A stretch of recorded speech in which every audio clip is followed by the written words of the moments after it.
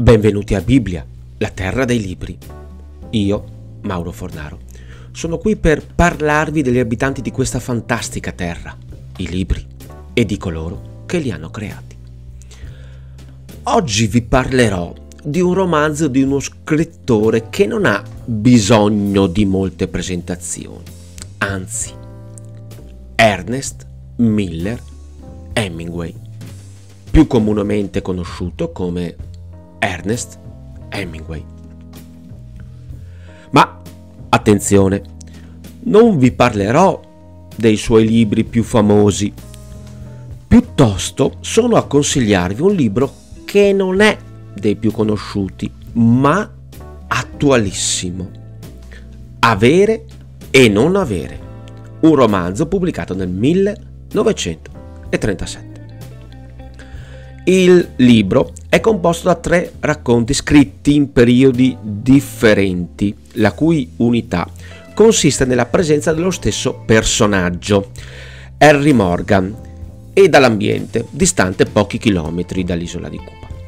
La realtà sociale che viene descritta è quella delle ingiustizie e delle sofferenze che devono subire coloro che, appunto, non hanno.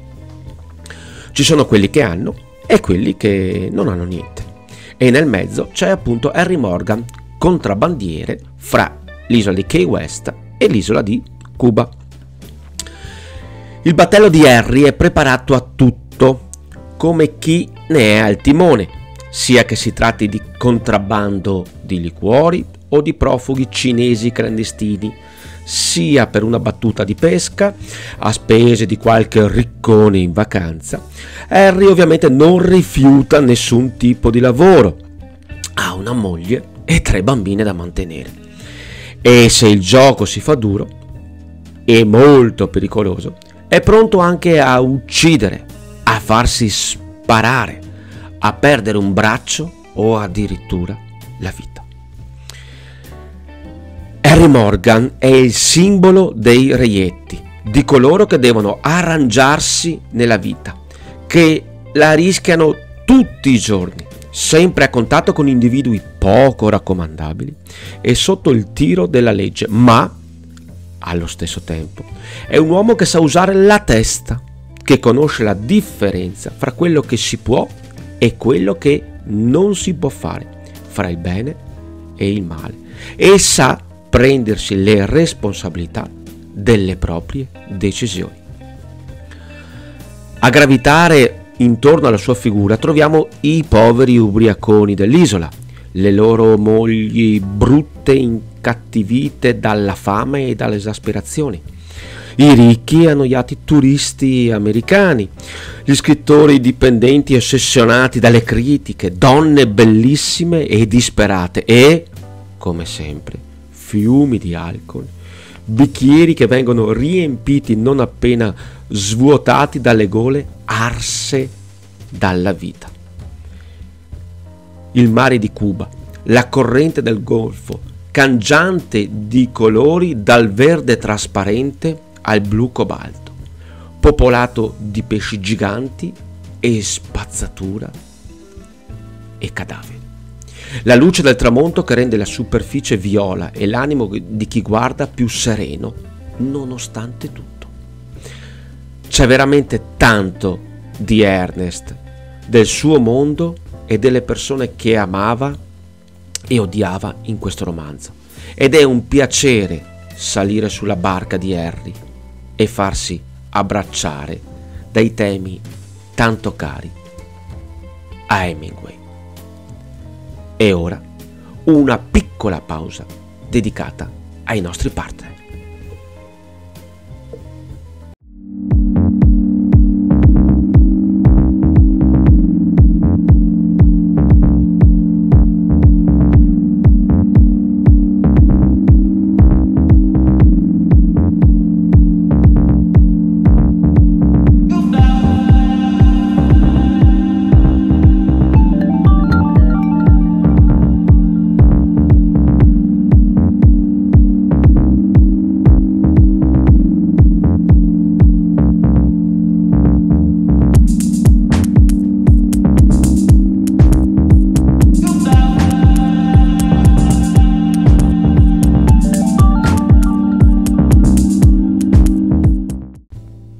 Bentornati a Bibbia, la terra dei libri. Vi ricordo di seguire Brio Radio nei social e magari di iscrivervi al canale YouTube. Avete anche la possibilità di un sostegno libero e volontario con una donazione PayPal. Prima di leggervi qualche riga del libro di oggi, vi do un consiglio turistico, ovviamente a tema culturale minguaiano. Se vi capita, cari ascoltatori di Brio Radio, di passare in Veneto, più precisamente dalle parti di Bassano del Grappa, andate a visitare il Museo Hemingway e della Grande Guerra. Mm, lo trovate nei social, sono, sono molto, molto attivi ed è un museo molto interessante perché oltre ovviamente a testimoniare la presenza di Hemingway in Veneto ma in Italia, eh, hanno anche attività eh, collaterali, o meglio, eh, promuovono anche attività collaterali sempre ovviamente a sostegno eh, della, della, cultura. come ben sapete, Hemingway per, per vari motivi è molto legato all'Italia e in particolare al nord-est.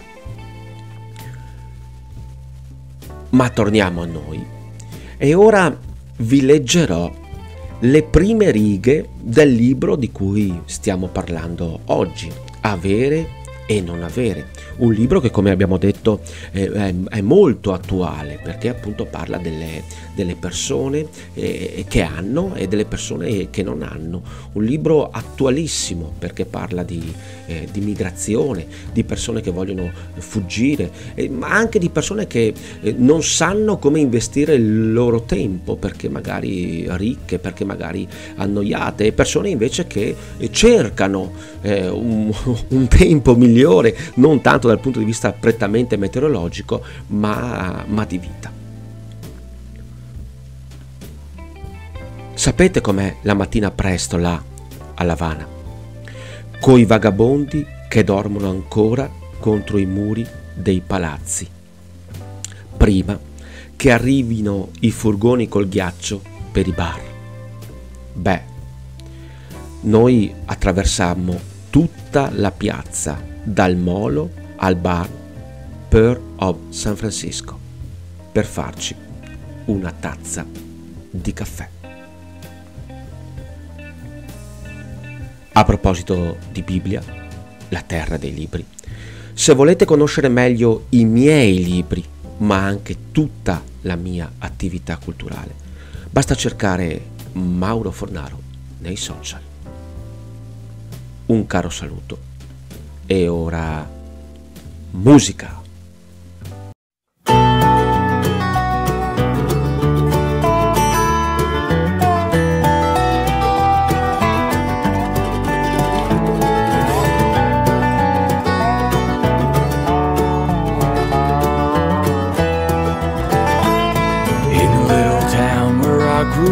My childhood came and went. Was a dark-haired girl with a crooked smile With whom my days were often spent. And I never gave much thanks to luck When we'd count the stars that night. But after 14 years the war broke out And they shipped me off to fight I felt a taste of honor Until it finally hit me why I'm too poor to dodge and too young to vote But I ain't too young to die that night I wept in darkness, alone and on my knees, clenched my hands as hard as they could squeeze.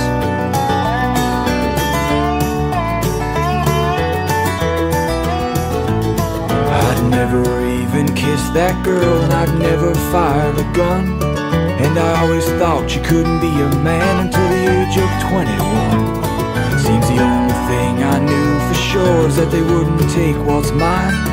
So I set my sights on anything that stepped across the line. And the first time that I killed a man I felt it in my chest. And many nights I saw his face until it blurred in with the rest. I felt no trace of honor when it finally came with ease. Instead I knelt down in the mud and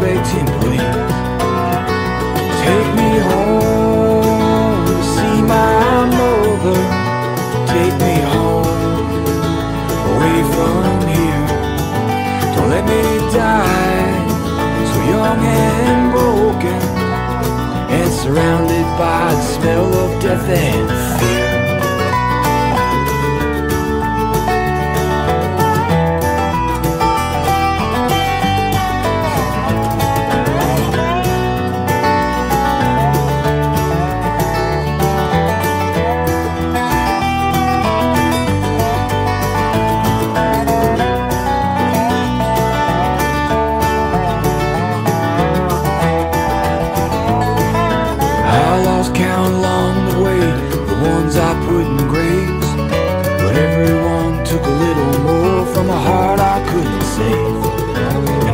Things I did out there were the furthest thing from law. So I scream myself awake most nights to relive the things I saw.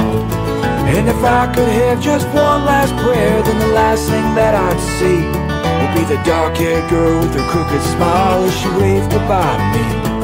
But I never had much luck with prayers, I did even worse with pleas. So I'll be goddamned if I die here on my knees. I'm going home to see my mother. I'm going home, away from here.